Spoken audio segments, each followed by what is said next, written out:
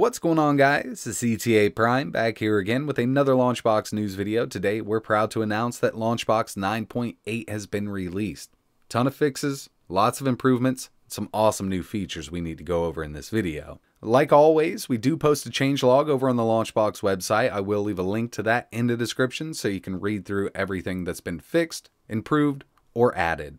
I'm just going to go over a couple of these fixes and improvements, then we'll move on to the new features. First up, RetroArch NetPlay was broken in 9.7. It's now fixed in 9.8. So if you're into NetPlay with RetroArch, you can go ahead and start using it again.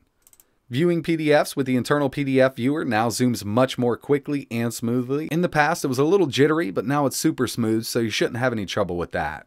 Nested playlist performance has been improved when combined with custom fields, and Launchbox screenshots and games detail sidebar are now in order based on your screenshot priority settings. Now it's time to talk about the new features. One that I'm really excited about is the newer GOG installed games importer. Now this is going to make importing your installed GOG games super simple. So we'll move over to Launchbox. I'm going to head over to the options, tools, import, GOG games. From here, I'm just going to find my GOG folder, click OK. I'm going to set this up as Windows.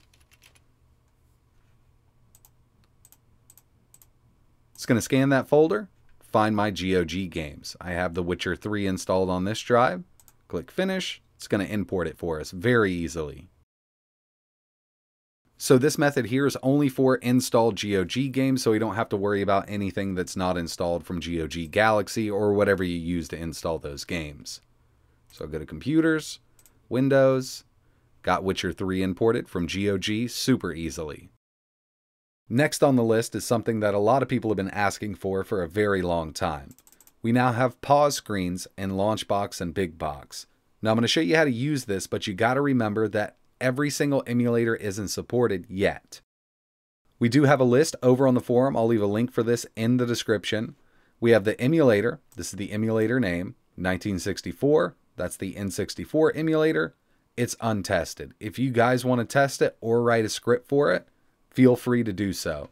You can also reply to this thread here, let everybody know if it works or if it doesn't work. Some emulators may be missing from the list, but a majority of the very popular emulators are working with the pause screens. We're going to move over to Launchbox, and I'm going to show you how to use them. From within Launchbox, we're going to head over to Tools, Options, Game Pause. Now this is specifically set up for your keyboard in this section here. I have my pause key set to P, you can set it to whatever you'd like, but keep in mind that some emulators might use that key for a different function. I had that issue setting it to B with Dolphin.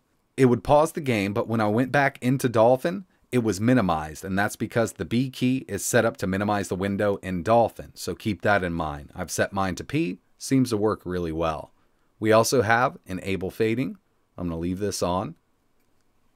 We'll go to Legacy, Gamepads, joysticks, automation. We have a new automation button for pause. So I usually always hold my select button, that's going to be button 7 on my Xbox One controller, and I'm going to press start for show pause screen. So when I hold select, press start on my controller, it's going to pause the game for me. I'm going to click OK, and we'll get right into it. So here I am with Aero Fighters 2. This is actually running in MAME. I'm going to hold select, press start because those are the hotkeys I set up. Resume game, reset game, save state, load state, exit game. I'm just going to resume the game here.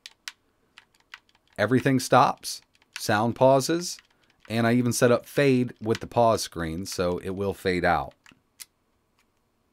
I think it's awesome. Go to exit game. It'll bring us right back into Launchbox. So that's a really awesome new feature that works in Launchbox or Big Box. This is for premium users.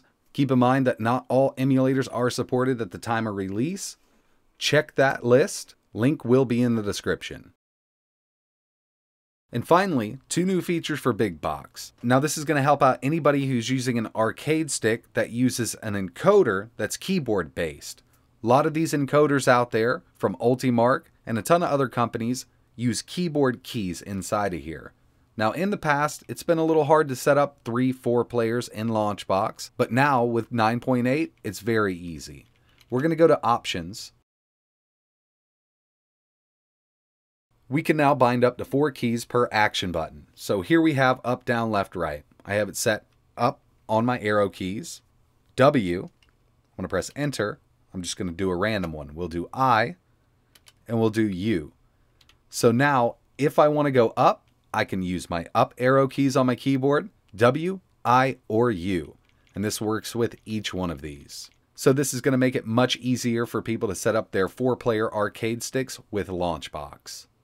Plus, we've also added keyboard automation along with controller automation. So pretty much the same thing here. If you're using an arcade stick and the encoder is based on keyboard inputs, this is going to make it much easier to set up.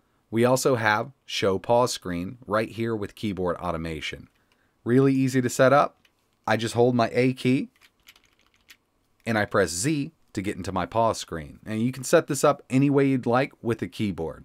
So that's keyboard automation and new keyboard mapping for Big Box.